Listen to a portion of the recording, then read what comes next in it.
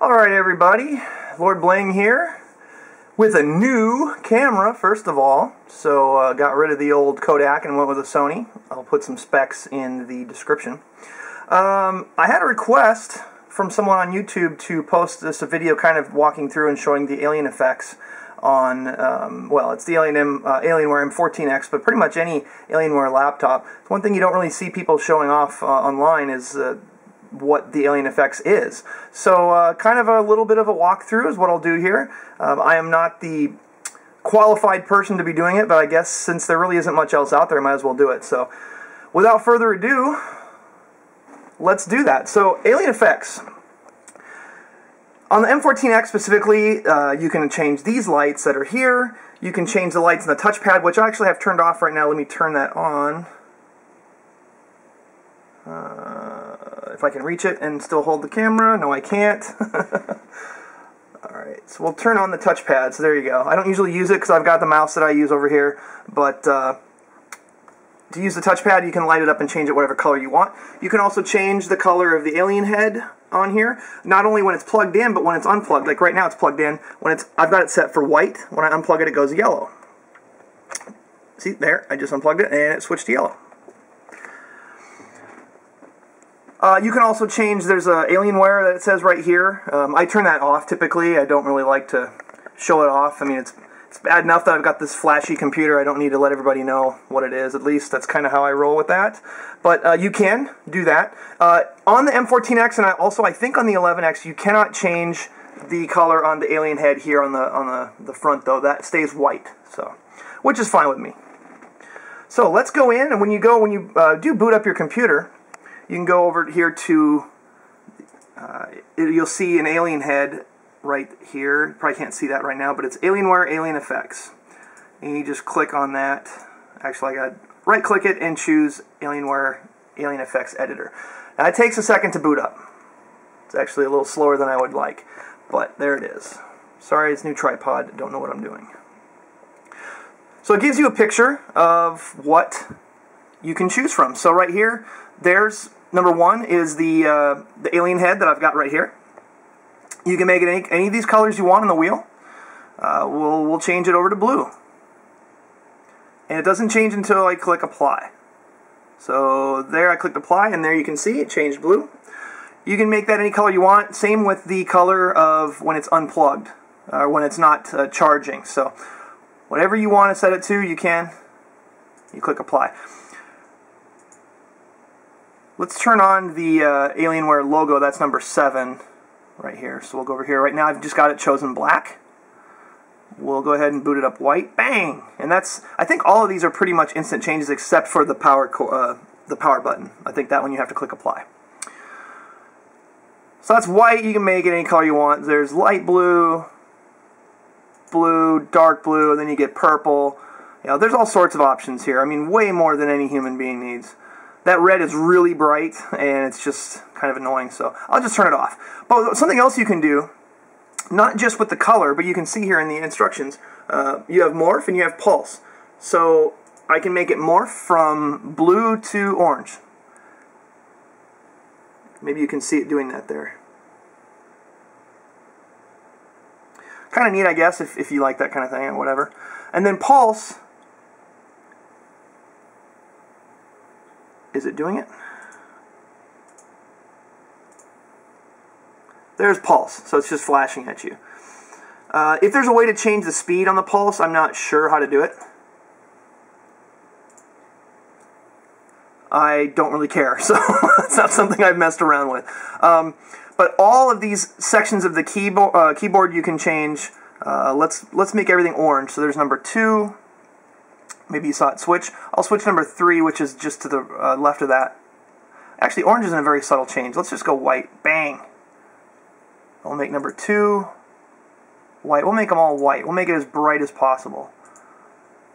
I don't know if there's a way to make all of those, um, to, to change more than one at a time. I don't think Control Tab does that, but I'm not sure. Yeah, we'll even change the touchpad to white. Bang.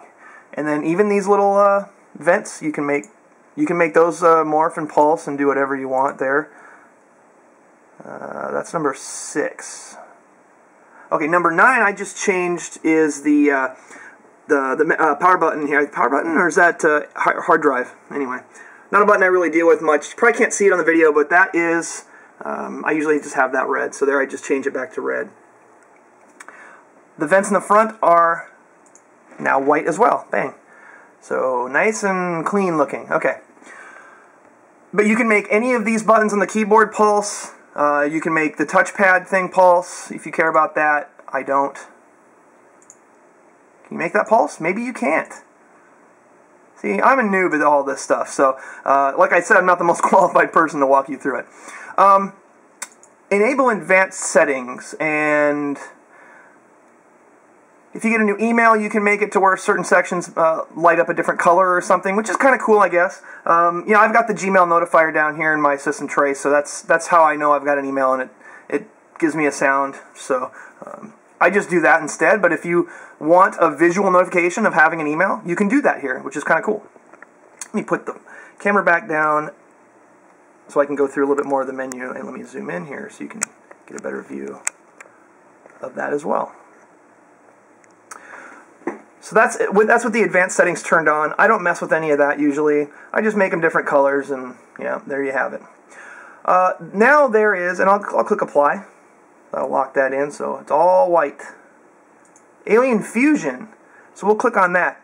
And this is just a, a power balance thing. If you've had Asus, uh, my last laptop was an Asus, and I just um, had something similar. Uh, it just manages your brightness of your monitor when you have the, the computer plugged in or unplugged, things like that um, power saver, power uh, power plan, balance, which is a little of both, and then high performance. I pretty much have this on high performance all the time because I have it plugged in 99% of the time. That 1% is when I take it to the back in the game room and need to do a, a walkthrough and I'm stuck in a, a level or something. Uh, and then there's quick settings, which you can go in here and change uh, for the different power plans what does your power button do? What does it do when you close the, the, the lid? What is it? How long can you make it to where it'll sleep? What brightness do you want, etc. So that's all in here in this Alien Fusion.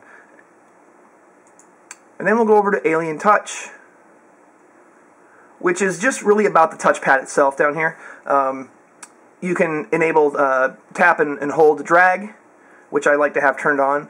Uh, disable the touchpad when a mouse is attached that I have that as a default uh, because I don't like to type and have my uh, the, the meat of my palm of my hand on here and making it uh, screw up and click me in other places on uh, on the screen. I hate that. That's annoying. So I always turn that off typically when I'm using a mouse. Sensitivity, and that is something you can adjust. How sensitive is it when you're typing? I just have it turned off, so I don't really care. But you can play around with that and see if it if it affects you to where you can go on here and touch it and move it around, but maybe it won't when when you're typing. I don't know. Like I said, I've got my setup the way I've got it, and that's that's how I have it. And you can even change the sensitivity to how much pressure uh, you put on the touchpad. Uh, then there's virtual scrolling, which you can basically use. You can set the touchpad to where if you touch the very far right up and down, it will scroll up and down and left and right, and it'll do that as well. Um, not as good as a you know Apple multi-touch or what you're used to on on uh, on smartphones nowadays. Uh, I do wish it had pinch to zoom. Uh, that would be pretty cool. Um, or even like my old Asus had, where you uh, uh, tap with three fingers and it right clicks, or tap with two fingers and and it. Um, I think it's a double click. I don't remember. It's, it's I've had this computer for three weeks now, and I've already forgotten about my Asus. Um, but again, I don't use the touchpad much, so this isn't really relevant to me. But feel free to play around with it when you get your Alienware. But again, the meat of this pretty much is in making all the pretty colors here. Um, play around with it. I spent way more time at first playing around with it, and now I just pretty much leave it all red or blue. Um, since I've got the red, uh, the uh, Nebula Red computer, which you probably can't see here because it's dark in this room because I want to show off the lights, uh, um, I typically leave it red. But it doesn't really matter. I mean, it's colors are colors, and when you're in a dark room gaming, people don't really see that your computer's red on the outside. They just see the Alienware effects lights. So, well, that, that, there you have it. I mean, you click apply and lock all that stuff in, and then you just close it out, and, and there you have it. You just uh, whenever you want to go back in and change it, you can do it right here and right click on the alien head. It's also a quick way to go dark, which I'll do right now. I'll click go dark, and bang. But it does leave the touchpad turned on, which is good. And let's turn it back on. Go light is what I chose. And it's back on.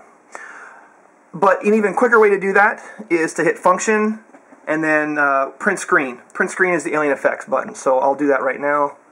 Function print screen. And that automatically makes the computer go dark. So you don't have to go into the menu. You can just hit function print screen and it brings it off or on uh, if you need a, a quick fix on that. Let me see if there's one other thing on this Alienware head that I wanted to. Dim lighting zones. I've not done that. Quick change. So this is going to be kind of cool. I haven't done this yet. So quick change. And what I did is I right click on the alien head over here in the system tray. I want everything to be blue. Bang! It did it. Everything is blue. Now I turned back on the Alienware um, logo, which I'm again kind of annoyed by that it's when I'm trying to watch a movie, I don't want that down there. I usually just turn it off. But again, if you want to just do a quick uh, swap of colors, that's one way to do it. So, well, I think that's probably more than you cared about on the Alienware on the AlienFX that's on Alienware computers.